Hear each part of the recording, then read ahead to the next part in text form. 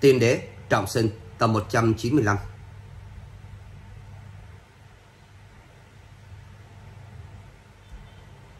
Ban đầu, Tô Thường có thể giết chết trúc cơ định phong, nhưng Tây Môn Phong Vân không hề tầm thường. Bản thân ông ta thuộc về loại thiên tài có thể vượt cấp chiến đấu. Sức chiến đấu của ông ta vốn đã có thể so sánh với một giả đan, cũng là loại khá phiền phức. Đương nhiên, nếu như đánh tiếp thì Tô Thương vẫn tin tưởng rằng bản thân anh có thể đánh bại ông ta. Nhưng vì để tiết kiệm thời gian, Tô Thương trực tiếp lấy ra kiếm thương khung, dự định nhanh chóng giải quyết ông ta. Tô Thương, cậu gấp gáp muốn giết tôi đến thế sao? tôi chờ cậu đến giết tôi đó. Tây Môn Phong Vân không hề sợ hãi, ông ta chỉ khẽ cười. Tô Thương cho rằng Tây Môn Phong Vân chỉ đang khiêu khích, anh lập tức hừ lại một tiếng, tay cầm kiếm thương khung đánh về phía Tây Môn Phong Vân. Tây Môn Phong Vân thấy vậy thì cũng không ngồi không mà chờ chết. Ông ta đứng yên tại chỗ, điều động linh khí bao quanh khắp cơ thể, dự định liều chết một trận. Chỉ trong chốc lát, linh khí dồi dào hội tụ trong lòng bàn tay của ông ta, hình thành nên một lá tấm lá chắn phòng ngự. Cang! Sau một giây, tay tôi Thương cầm kiếm đâm thẳng vào tấm lá chắn, bốn phía truyền đến một tiếng vang thanh thúy. Ngay sau đó, âm thanh giống như có tiếng kính vỡ vụt vang lên. Tấm lá chắn do Tây Bộ Phong Vân ngưng tụ thành bắt đầu xuất hiện những vết đứt giống như mạng nhện, cuối cùng vỡ tan tán loạn. Mà cơ thể của Tây Bộ Phong Vân thì văng ngược về phía sau 3-4 mét, nặng nề đập xuống mặt đất. Phụt! Tây Bộ Phong Vân lập tức nằm trên mặt đất. Ông ta ôm ngực, phun ra một ngụm máu, hơi thở yếu ớt, sắc mặt vô cùng tái nhợt. Lúc này Tây Môn Phong Vân vui mừng nhìn Tô Thương, ông ta nở một nụ cười, yếu ớt nói ra: "Tôi tôi thua, tôi Thương, bây bây giờ cậu có thể giết tôi rồi." Chuyện này rõ ràng không cần ông ta nhiều lời, tay tôi Thương cầm kiếm thương cung đã đi đến trước mặt ông ta. Tây một Phong Vân, ông quốc ngày hôm nay tất cả đều là do ông gieo gió gạch bão. Bây giờ tôi sẽ tiến ông đi nhận lỗi với các tiền bối nhỏ tôi. Nói xong, tôi thường hơi hít mắt, trong hai mắt anh đều là sát ý lạnh thấu xương, tay anh cầm kiếm thương khung giơ lên cao. Kiếm thương khung tỏa ra sát khí lạnh lẽo, kiếm ý kinh khủng khiến người ta sợ hãi. Chỉ cần hạ nó xuống thì có thể chém bay đầu Tây Môn Phong Vân. Nhưng vào lúc này Tô Phụ Dung đột nhiên xuất hiện, bóng dáng của bà lóe lên chắn phía trước Tây Môn Phong Vân. Bà vội vàng nói ra, Tô Thiếu Gia, dừng tay, cậu không thể giết anh ấy, anh ấy là người đã bảo vệ nhà Tô ở Côn Luân. Tô Phụ Dung đột nhiên xuất hiện khiến Tô Thương nhíu mày, anh dừng động tác trên tay lại. Ngay sau đó, ánh mắt của Tô Thương di chuyển nhìn về phía Tô Phụ Dung, anh lập tức kinh ngạc vì vẻ đẹp của Tô Phụ Dung. Dùng bốn chữ sắc nước hương trời để hình dung người phụ nữ này thì không hề quá nắng một chút nào, quá thực là một cực phẩm của nhân gian. Đương nhiên, điều thu hút Tô Thương không hoàn toàn chỉ là ngoại hình của cô gái này, mà là cảm giác mà cô gái này mang lại cho Tô Thương. Tô Thương mơ hồ cảm thấy cô gái này cực kỳ quen thuộc, nhưng trong ấn tượng anh lại không hề có hình dáng người này. Cẩn thận nhìn một lúc Tô Thương kinh ngạc, anh nhìn không được tò mò hỏi, cô là dì Phù sao? Đúng vậy, Tô Phụ Dung gật đầu, bà ta thành thật nói ra, Tô Thiếu Gia là tôi.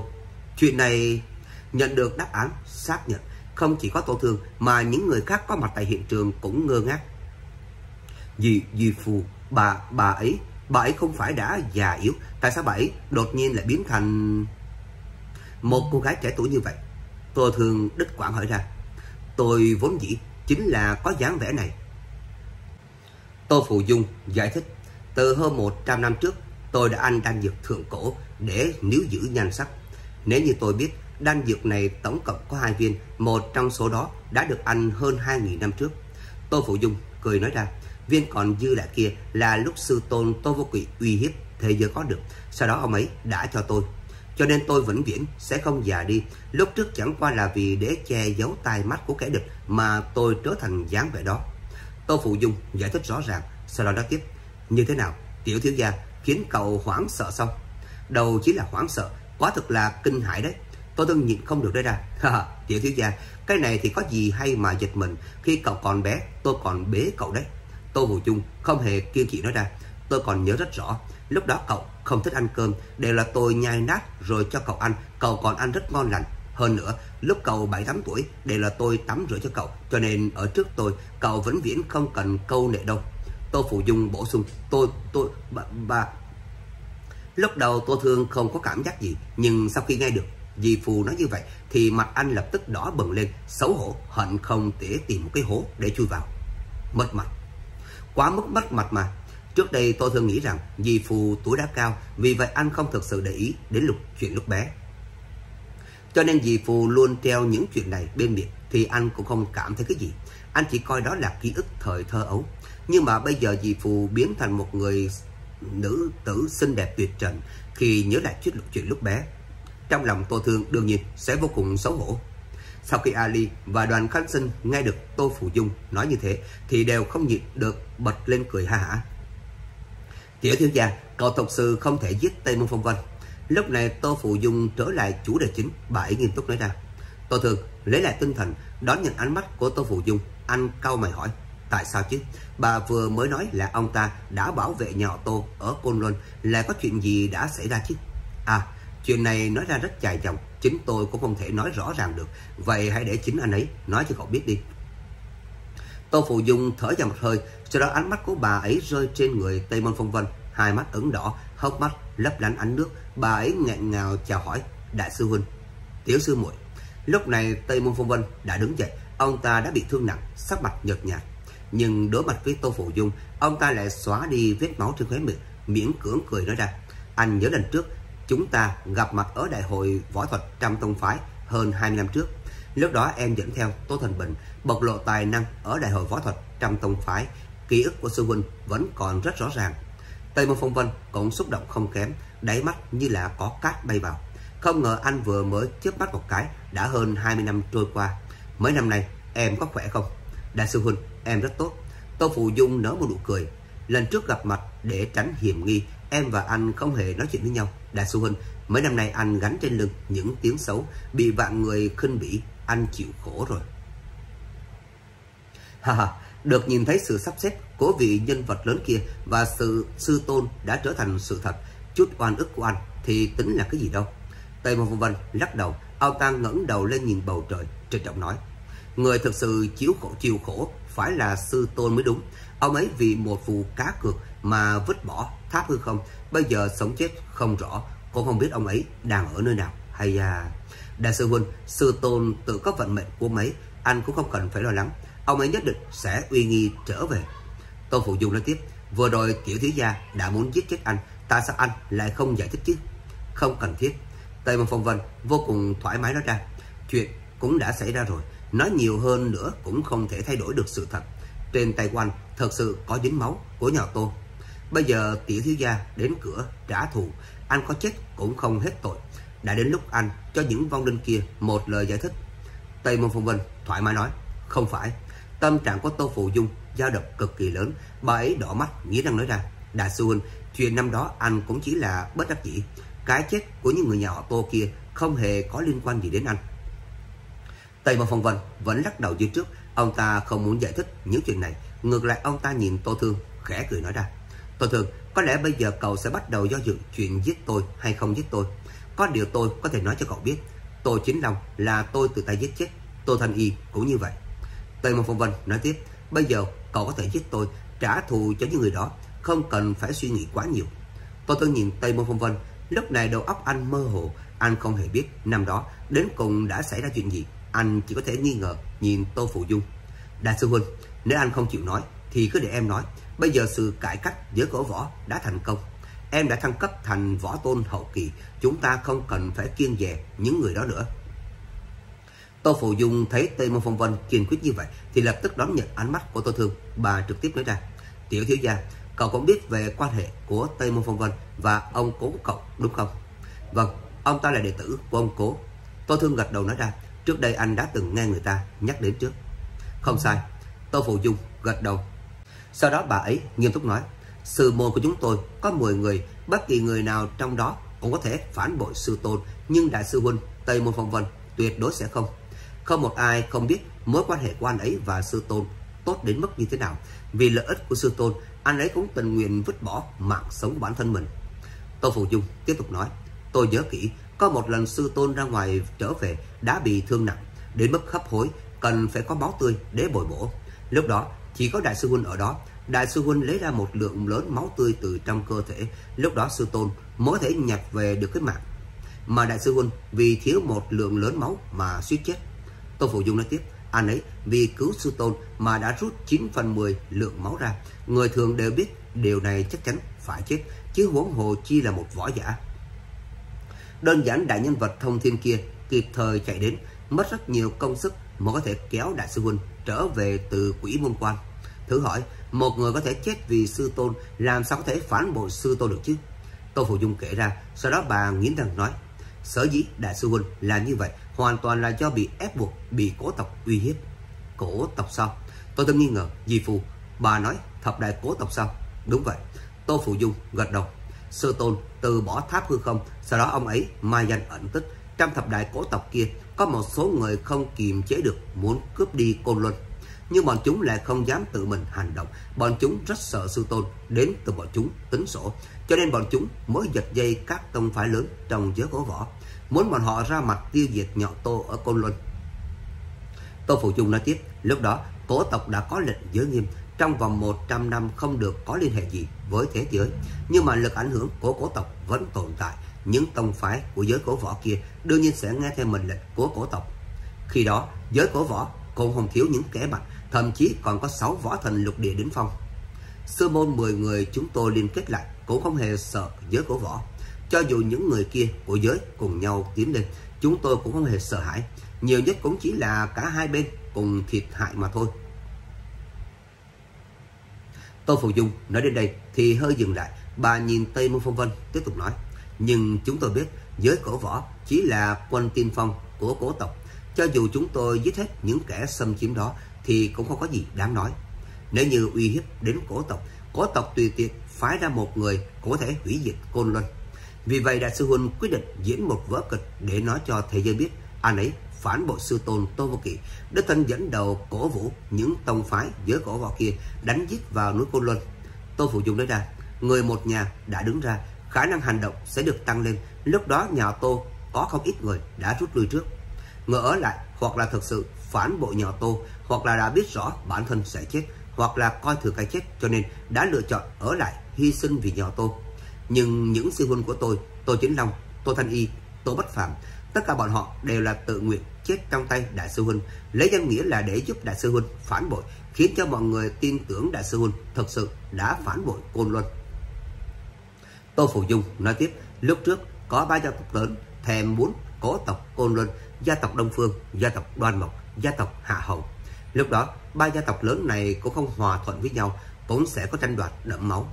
Cũng bởi vì vậy mà sau khi đại sư huynh chiếm được Côn Luân, bọn họ đã quyết định không nhúng tay vào để quản lý, để cho đại sư huynh quản lý Côn Luân.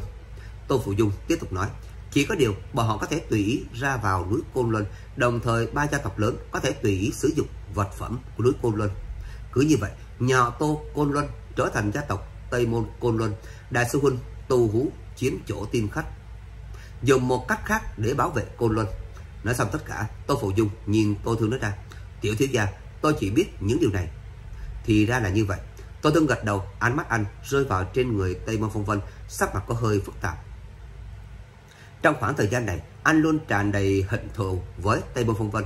Anh hận không thể nhanh chóng giết chết ông ta để giải tỏa mối hận. Nhưng mà bây giờ Tô Thương lại biết được Tây Môn Phong Vân làm tất cả đều là vì nhà Tô. Chuyện này khiến cho tôi Thương hơi ấy nấy Bản thân anh trước đây đã ra tay quá độc ác rồi. Tây Môn Phong Vân, lúc trước tôi đã làm nhiều điều sai với ông. Tôi xin lỗi ông. Cảm ơn ông vì đã làm tất cả vì Côn Luân. Tô Thương không hề ngượng ngùng, anh trực tiếp mở miệng nói xin lỗi. Tiểu thiếu gia, khách sáo rồi. Tây Phong Môn Phong Vân được sủng nhược mà kinh hãi, ngược lại ông ta cảm động nói. Tiểu thiếu gia, tôi kiên trì ở Côn Luân hơn 100 năm. Những người của cổ tộc chưa từng đặt chân đến những nơi quan trọng của nước Côn Luân. Bây giờ cậu đã đến rồi, tôi sẽ giao lại Côn Luân cho cậu. Được, tôi thương đồng ý. Sau đó anh nhìn những thi thể xung quanh, cười khổ nói ra. Thật ngại quá, lúc trước tôi không biết sự thật, đã giết lầm rồi. Không sao cả. Tây Môn Phong Vân khẽ cười. Những người này cũng không phải là hậu duệ của tôi, mà là do ba cổ tộc lớn, Đông Phương, Đoan Mộc, Hạ Hầu phải đến. Bọn chúng chết cũng không đáng tiếc. Ừ, nếu như vậy thì quá tốt rồi. Tôi thường thở dài một hơi, sau đó anh lại nhớ đến Tây Môn Hổ Tiếu của gia tộc Tây Môn thì lập tức tới ra. Còn có một chuyện nữa, mấy ngày trước tôi đã giết Tây Môn Hổ Tiếu, ở đại hội võ thuật trăm tông phái. Chuyện này thằng nhóc kia đã sớm thông đồng với cổ tộc. Nếu như không phải tôi lo lắng sẽ đánh rắn động cỏ thì có lẽ tôi đã sớm giết chết nó. Tây Môn Phong Vân nói tiếp, bây giờ nó có thể chết trong tay cậu thì đã được xem như là một vinh dự của nó rồi. Tây Môn Long Ngâm Tôi thường nhắc đến Tây Môn Long Ngâm Phịch Lúc mọi người nói chuyện thì Tây Môn Long Ngâm đang đứng bên cạnh. Đương nhiên anh ta cũng nghe được rõ ràng. Sau khi biết được lão tổ nhà mình Chưa bao giờ phản bội Thì trong lòng Tây Môn Long Ngâm hoảng sợ.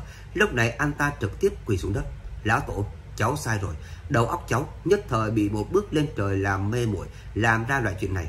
Tây Môn Long Ngâm vừa dập đầu vừa cầu xin Và xin ông tổ Và xin ông, lão tổ Xin ông hãy xem cháu là hậu duệ duy nhất của ông Mà cho cháu một cơ hội khác. Hay à Tây Môn Phong Quanh nhìn Tây Môn Long Ngâm, Ông ta vốn định giết chết tên hậu duệ Có tâm tư xấu này. Nhưng nghĩ lại, bản thân sẽ không có người kế thừa Thì lại không nỡ xuống tay. Tây Môn Phong Vân hãy nhẹ tay mà bỏ qua đi. Chuyện gia đình giữa ông cháu của các người Sau này rồi nói. Tôi thường nói ra, Ngược lại bây giờ tôi có vài câu muốn hỏi ông. Mời tiểu thì tiểu thiếu gia cứ nói, Nếu tôi biết thì tôi sẽ nói ra hết. Tây Môn Phong Vân nói ra Ừ. Tôi từng gật đầu, Anh trực tiếp hỏi Vừa rồi ông nhắc đến ông cố tôi Vì một vụ cá cược mà từ bỏ tháp hư không. Rốt cuộc chuyện này là như thế nào? Cá cược cái gì chứ?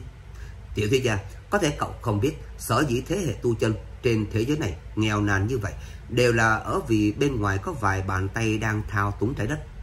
Tây Môn Phong Vân, thành thật nói ra, Thực ra thì trái đất không có khả năng đánh trả. Có điều hơn 100 năm trước, Có một nhân vật lớn mặt để đến trái đất. Người đó không hề yếu hơn những bàn tay bên ngoài kia.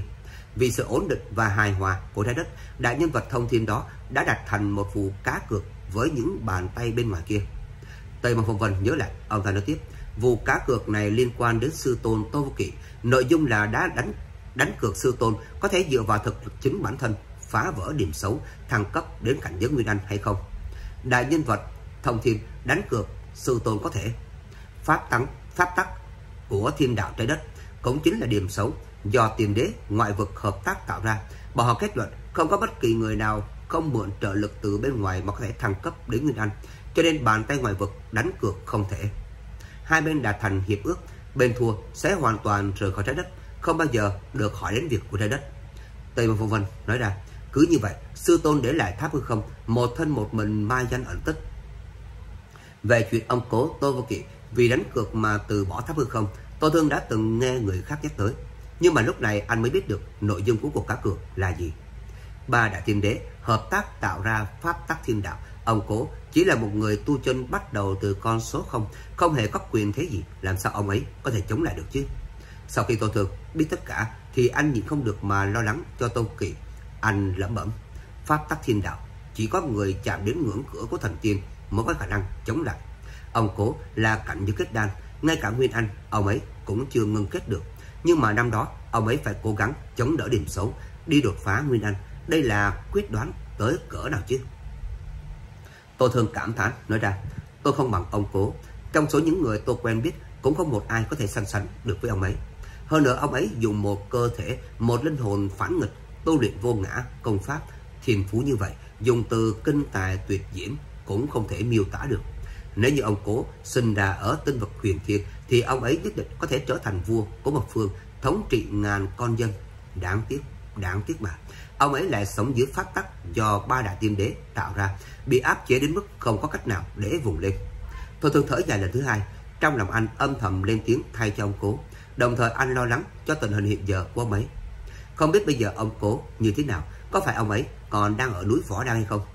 Lúc đó, khi đã đọc vật nói cho tôi Thương tin tức này, anh đã nửa tin nửa ngờ. Sau khi bình ổn núi Võ Đăng, Tô Thương lập tức đi đến núi Côn Luân. Anh cũng không hề tìm kiếm ở núi Võ Đăng. Xem ra khi nào có cơ hội, anh phải đến Võ Đăng tìm kiếm thử một lần. Hay da, lúc này Tây Môn Phong Vân thở vào một hơi. Sư tôn ông ấy chính là quá tự tin. Ông ấy tự tin bản thân có thể mở ra một con đường đánh vỡ xiềng xích của ba đại tiên đế kia. Có điều từ sau lần lôi kiếp đột phá Nguyên Anh, ông ấy đã mai danh ẩn tích. Ngoài trừ ông ấy, vì thông thiên đại nhân vật kia cũng biến mất, đột nhiên không còn tin tức nữa. Tây một Phong Vân suy đoán, cho nên toàn tôi đoán là sư tôn đã thất bại, thua trận cá cược. Kể từ đó, vì thông thiên đại nhân kia, vì thua cược mà đã rời khỏi trái đất. không nhúng tay vào âm mưu của ba đại thiên đế nữa. Còn về phần sư tôn, ông ấy trở thành nạn nhân của trận cá cược. Bây giờ chỉ sợ ông ấy đã chết.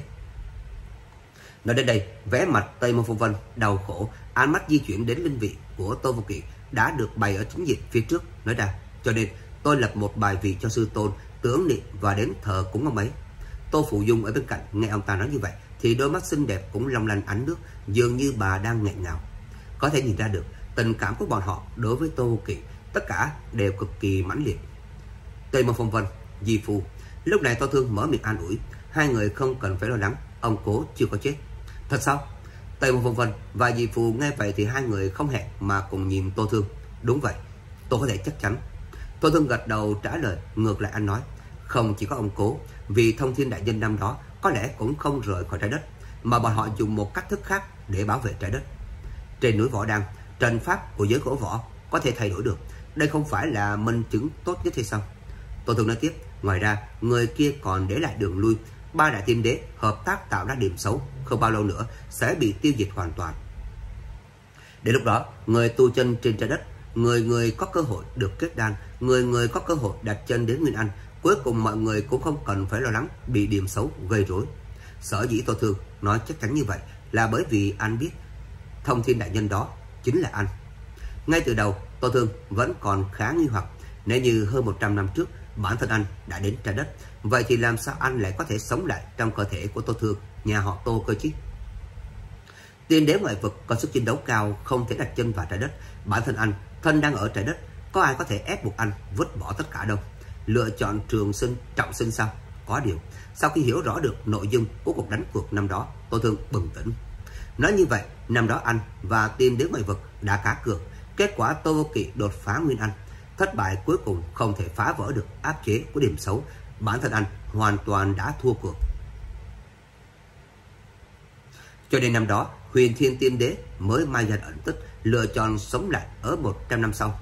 Kể từ đó, anh không còn là huyền thiên tiên đế nữa, mà là tô thương nhỏ tô. Anh hoàn toàn thoát khỏi sự trói buộc của vụ cá cược năm đó, có thể quang minh chính đại, bảo vệ trái đất.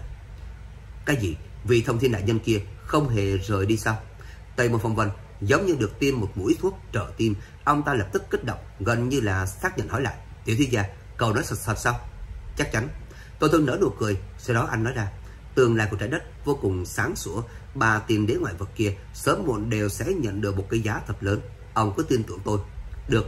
Tây Môn Phong Vân thấy tôi thương tự tin như vậy thì lập tức xúc động, tâm trạng cực kỳ kích động. Được rồi, Tây Môn Phong Vân tôi còn có một câu hỏi muốn hỏi ông. Tôi thương nhìn Tây Môn Phong Vân nói ra. Cậu cứ hỏi đi. Tây Môn Phong Vân cung kính nói. Ông nói ba đại cố tộc là gia tộc Đông Phương, Đoan Mộc, Hạ Hậu hợp tác với nhau có âm mưu xấu với Côn Luân. Tôi thân nhíu mày, giọng điệu hờ hững.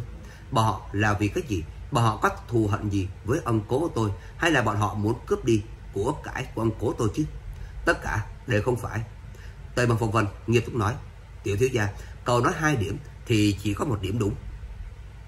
Đông Phương, Đoan Mộc, Hạ Hầu, sở dĩ ba gia tộc lớn này muốn hủy diệt nhà Tô Côn Luân chủ yếu là bởi vì bọn họ bị tiên đế ngoại vực điều khiển. Tây Vào Phong Vân nói tiếp, mặc dù sư tôn đột phá Nguyên Anh thất bại, nhưng không hề tìm thấy thi thể của mấy bà Ba tiên đế ngoại vực vẫn vô cùng kiên dè sư tôn, sợ ông ấy phát triển lớn mạnh. Vì để giải quyết hậu hoạn, ngoại vực khống chế ba cổ tộc lớn, muốn dùng nhà Tô Côn Luân để ép buộc sư tôn phải ra mặt để giết chết ông ấy. Tây Môn Phong Vân nói tiếp, có điều sư tôn vẫn chưa từng xuất hiện. Sau khi tôi chiếm Côn Luân, nhưng mà cũng không hề thực sự khống chế Côn Luân, ba cổ tộc lớn phái đến không ít người ẩn nấp trong Côn Luân. Tiểu thiếu gia, những người vừa rồi cậu giết đều là những tai mắt của cổ tộc. Tây Môn Phong Vân cười khổ nói ra, ngoài ra bọn họ đưa cho tôi một người phụ nữ để kết hôn với tôi, âm mưu dùng chuyện này khống chế tôi. Ông nội của Tây Môn Long Ngâm và Tây Môn Hổ Tiếu chính là do tôi và người phụ nữ đó sinh ra. Có điều nhiều năm trước, người phụ nữ kia đã bị tôi bí mật xử lý. Tề Môn Phong Vân vô tình nói, ông ta nhắc đến chuyện này vô cùng hờ hững. Tề Môn Long Ngầm ở bên cạnh nghe thấy vậy thì biểu cảm có hơi phức tạp. Anh ta đương nhiên biết, đương nhiên nghe mà hiểu được ý tứ của bí mật xử lý. Anh ta không ngờ là lão tổ lại ác độc như vậy, ngay cả vợ của mình mà cũng xuống tay được. Hay à, người ngoại vực cuối cùng cũng không phải là người nhà mình, cũng không cùng một dân tộc, chắc chắn sẽ có suy nghĩ khác. Bà ta đã đánh được âm mưu của tôi, có ý báo về cho cổ tộc biết cho nên bà ta không thể không chết. Tây Môn Phong Vân thản nhiên nói, người ngoại vực sao? Tôi thường nghe nói như thế, hỏi lại, không phải ông vừa mới nói bà ta là người cổ tộc rời đi hay sao? Người cổ tộc cũng đều là người một nhà, sao giờ không phải cùng tổ tiên với tôi chứ? Tiểu thiếu gia, cậu có chỗ không biết rồi. Tây Môn Phong Vân nghe vậy liền giải thích, tiên đế ngoại vực âm mưu với trái đất mà ngoài trái đất còn có trận pháp bảo vệ ba vị tiên đế ngoại vực tiến vào trái đất là cực kỳ khó khăn. Tôi từng nghe đại vị đại nhân vật thông thiên kia nhắc qua, trận pháp bảo vệ trái đất mạnh mẽ phi phạm đã vượt ra khỏi vạn vật, dù là tiên đế ngoại vực cũng không có cách nào đi quá giới hạn. Hơn nữa, người có thực lực càng mạnh, nếu cứ miễn cưỡng xông vào trái đất thì sẽ chịu lực cản càng lớn. Tây bằng Phong Vân nói tiếp, nếu so sánh, người tu chân cảnh giới thấp hơn, trái lại càng dễ đi vào trái đất hơn, nhưng độ khó cũng rất lớn, lại tràn đầy nguy cơ thập tử nhất sinh. Đã từng xảy ra chuyện, tiên đế ngoại vực lấy thủ đoạn cường đại, sắp xếp 100 người ngoại vực định hung hăng đến sông đến trái đất. Ngày đó, bầu trời tối tăm, có hiện tượng thiên lôi che lấp mặt trời, người tu chân ở trái đất như lâm vào khủng hoảng. Nhưng trong 100 vị tiên đế cao thủ đó, có 96 người chết ngay tại bên trong trận pháp bảo vệ, trở thành cái xác không hồn. Còn lại bốn người mạo hiểm vượt qua, thành công đi vào trái đất, giữ lại được thực lực cảnh giới Nguyên Anh, kinh động tứ phương. tề một phật Vân tiếp tục nói, đây là lúc xảy ra chuyện của sư tôn Tô Vô Kỵ tôi. Sau khi bốn người đến trái đất, liền bắt đầu vơ vét tài nguyên của trái đất, không chuyện ác nào mà không làm. Sư tôn tôi tất nhiên sẽ không quan tay đứng nhìn. Nhưng sư tôn của tôi dù sao cũng không hoàn toàn quật khởi khoảng cách đến cảnh giới Nguyên Anh, còn chênh lệch rất lớn nên đã thua trận. Tây Môn Phong Vân chuyển hướng, thời khắc quan trọng này vì đại nhân vật thông thiên kia xuất hiện, đưa tay ra đánh bại bốn tên ngoại vực cảnh giới Nguyên Anh đó. Có điều vì đại nhân vật thông thiên đó cũng không ra tay giết hại, bởi vì tình hình khi đó không thích hợp để trở mặt với ba vị tiên đế ngoại vực đó, để tránh chọc giận đối phương rơi vào tình trạng cá chết rách lưới. Tây Môn Phong vân nói tiếp, nhưng vì đại nhân vật thông thiên đó vừa vẫy tay một cái liền khiến cho cảnh giới Nguyên Anh của bốn vị tiên đế ngoại vực đã rơi xuống cảnh giới kết đan. Ở trái đất, cảnh giới Nguyên Anh là vô địch, nhưng kết đan thì không phải. Sau khi bốn người kia bị hạ cảnh giới xuống, một mình sư tôn tôi có thể nghênh chiến với bốn người họ rồi, thậm chí vững vàng nghiền ép đối phương. Tây một Phong Vân nói ra, cứ như vậy, tình hình ổn định lại, bốn người ngoại vực sống ở trái đất, dần dần hòa vào trái đất, kết hợp với người ở trái đất sinh con nối dõi. Sau khi sinh rất nhiều con cháu mang dòng máu ngoại vực, Tam đại cố tộc đưa phụ nữ cho tôi chính là một trong số những người đó. Bốn người ngoại vực này với tiền đế ngoại vực tất nhiên có thể thông qua một số thủ đoạn mà liên lạc được với nhau.